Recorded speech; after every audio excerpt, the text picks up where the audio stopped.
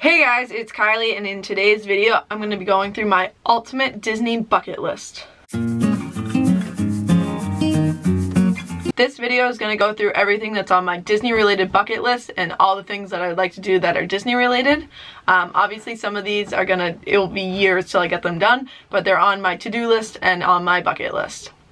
Don't forget I'm doing Vlogmas, which means I'm posting a video every single day of December, so definitely hit the subscribe button and turn on the bell so you get notified every time I upload. The first thing on my Disney bucket list is to go to every single one of the Disney parks. So that means I want, want to go to Dis Disney World and Disneyland, which I have already done. Um, I wouldn't mind going to Disneyland again. Um, that's definitely on something I want to do. But I want to go to Disneyland Paris, I want to go to Tokyo, I want to go to Hong Kong, and I want to go to Shanghai. Those are my main Disney things is I want to get to be able to get to every single Disney park. I want to be able to just see them.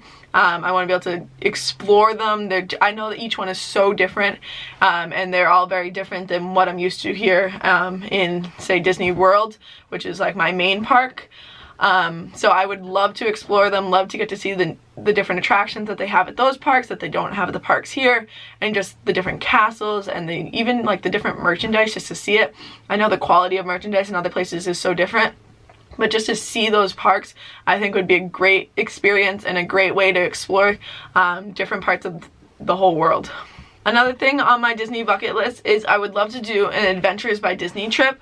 Um, there's plenty that can go go with the other thing and go to the parks. So I think that would be cool to do an Adventures by Disney trip that gets to go to the parks or just an Adventures by Disney trip that gets to explore some other part of the world.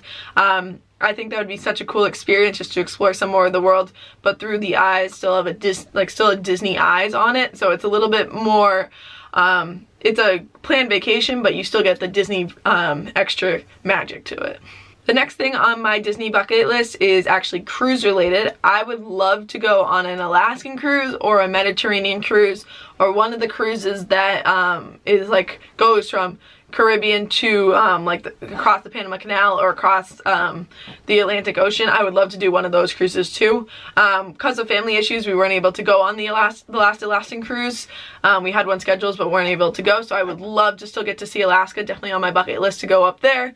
Um, and I would love to get to see the Mediterranean on a cruise. I think I love Disney cruises. I think they're so much fun. So I, those are definitely on my bucket list. Another thing on my bucket list is to do another Run Disney event. I'm not a huge runner, but even just another 5K, I love doing the Frozen 5K. The idea of getting to run through Epcot was so much fun. I mean, it's been um, almost four years since we did it. It was February 15, so um, a little bit under four years since we did that one. I would love to get to do another one. I mean, my schedule doesn't usually work to when they have them, but I would love over time to be able to get to do that as I get older and get to run in Disney again. I think that's such a cool experience.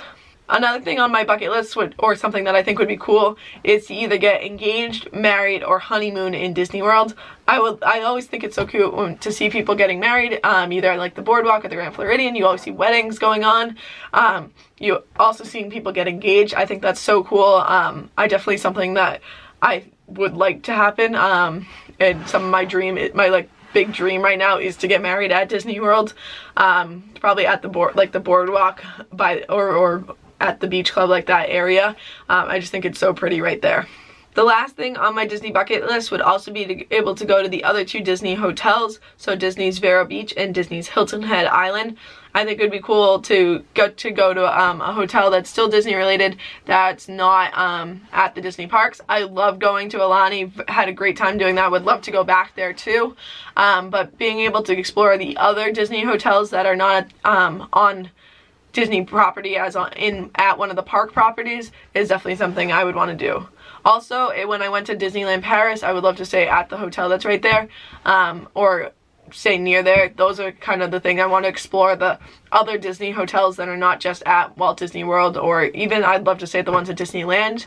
Um, I know it's a little bit crazy, but I would also love to stay at some of the other hotels at Disney World. I think it would be a little bit ridiculous for me to stay at every single one of them, but to be able to explore, we've only, I've only actually stayed at three of them. We do have a trip, a future trip planning um, that we're going to stay at a different hotel that I have not stayed at yet. But I would love to explore a new couple new hotels um, as I get older and just try different um, locations across Disney World and the other Disney hotels and properties across the whole world. I hope you guys enjoyed this video. If there's anything that's on your Disney bucket list that you want to let me know, definitely let me know in the comments down below. I would love to hear what's on your Disney themed bucket list. Besides that, don't forget to like, subscribe, and I will see you guys later. Bye!